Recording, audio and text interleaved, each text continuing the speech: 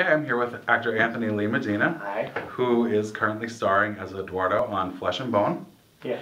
But before we talk about that show, which has received uh, quite critical acclaim, uh, let's take it back to when you first decided you wanted to become an actor. Um, okay. Uh, I was constantly singing throughout like my youth, my entire youth, and I guess when I was 16, I started doing musical theater. Mm -hmm. Um, and it went from like one show till like seven shows in a year um, in like the Westchester County area. And I basically didn't know what to do for college, so I started musical theater. And you went to Pace University, correct? Yeah. Yeah, I went to Pace for a year. And um, you were in the first national tour of Spring Awakening as Otto. What was that like? Um, oh god, that was crazy. I went to like an open call in my senior year of high school and they basically in the room gave me asked me to do touch me and I'd heard it like once hmm and they interviewed me which was crazy and I thought everyone was having this experience so when I walked out like I went with a bunch of friends and they all like attacked me because I was in there for like 20 minutes. Um, and then six months later I was cast and then six months later we started rehearsals and we did it for two years. Yeah. That's a long time to be away from home. What was it like um, having that be one of your, you know, bigger breaks to get taken away from? Oh God, um, it was a crazy time. Uh, I was 19. hmm Um, everybody in the cast is basically 19 years old or in that area in their 20s. hmm So it was kind of a lot of people were figuring themselves out during that, and it was also a show about figuring yourself out. Right. So we experienced so many very strange things. Um, we had like girls follow us home on our bus, like to our hotel, which was really crazy to me Yeah. because we were in a musical. so you were like a Beatle. yeah, we were like little rock stars. So that like experience definitely um, made it feel really cool. But at the same time, at 19, like you should not be on the road in that type of a show. It Right. was a very tiring experience. Yeah, but beautiful at the same time. It's my best friends are from there. hmm So yeah. And now uh, your first television appearances were on the Carrie Diaries. What Yeah. was that like uh, to book that and you know talk a little bit about your character? Oh God. Um, so I went in. I like submitted myself in Actors Access, Mhm. and they s- said come in. I had an appointment, and I said like four lines into an iPhone, and they cast me. Um, I'd never done t- TV in my life, and it's such a different world in theater. Mhm. Just like the vocabulary. Um, people were saying things like "go to craft services," and I didn't know what that was, or like martini, just like little random things that they were just expecting of me. Right. Um, but it was amazing. I was, it was one of the coolest experiences. Everyone was really nice on that show. Um, yeah, it was fun.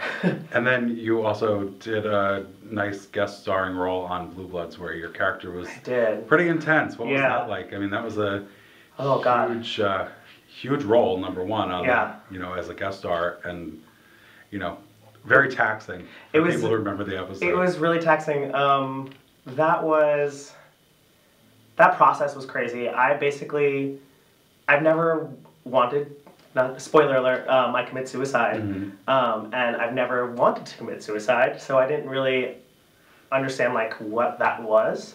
So I basically like went really strangely method, which is not my thing, and like spent three days like depressed. Mhm. And then I got cast after like sitting in a room with this director who was amazing, and he was just like feeding me words to like work on and play with in the room. Um, and then I got it, so I spent another like week completely depressed. Um, but it was amazing. Donnie Wahlberg is so cool. Mhm. Um, Latanya Richardson is amazing, and I didn't know she was Samuel L. Jackson's husband or wife, which was shocking and very cool. Uh-huh. Um, and like that whole team is just it's such a um, because they've been doing it for so long that show they're so prepared they know exactly how it's going to go and what the process is Mhm. so it was fast and it was fun it was fun Now, your scenes, pretty much throughout the entire episode, are quite dramatic with your interrogation. Yeah. And then also, obviously, at the end with the suicide. Did you film them in order or? no um, we filmed the interrogation first and then the suicide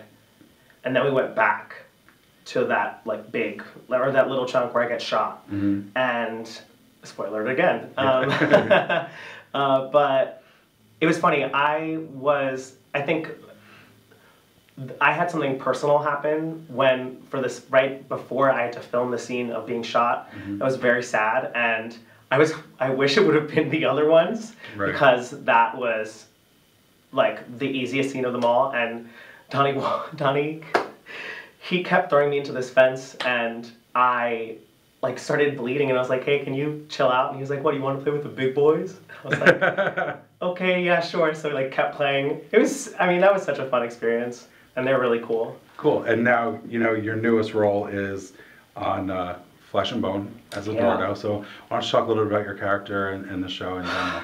Um, Eduardo is crazy. um, he's really fiery, and he is the lover of Ben Daniels, who's the lead of the show, who I watched on House of Cards. So being able to work with him was incredible. Um, yeah, I do like three episodes in the eight episodes of the limit series, and it's really fun. It's a lot of fun. That show is Moira's incredible.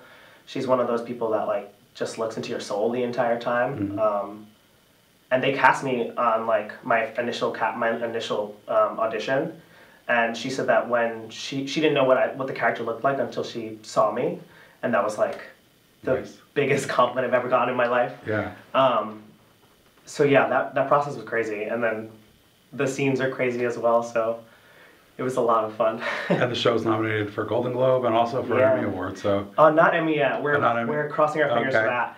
Um, but Sarah, our lead, uh, who plays Claire, was nominated for a Golden Globe, and the show is nominated for a Best Limited Series as well. very cool. That's got to be the icing on the cake. Yeah, it's it's an amazing. We were not expecting that, um, especially because the show is on on such a, a network that is hard to get. Because a lot of my friends can't even don't have Starz, they don't watch Starz. Um, but just the fact that we got that validation and the people that I mean, I had an easy job. Everyone in that show is doing double duty, being a ballerina and being an actress, and in these like really stressful scenes.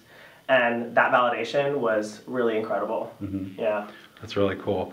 And you also have done some theater work, Mm-hmm. not just on the road. You were just in the New York uh, Music Festival.